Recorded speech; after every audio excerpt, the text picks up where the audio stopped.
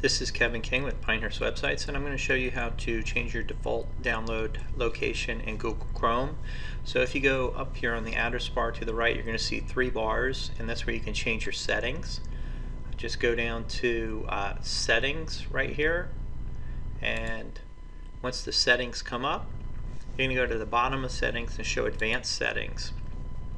As you scroll down past privacy, languages, uh, you're going to see uh, right underneath languages, you're going to see your default uh, download location. So when you're downloading things, uh, that's where it goes. So if you want to change that, you could change it to Dropbox uh, so that you have all your downloads wherever you want, or to Google Drive.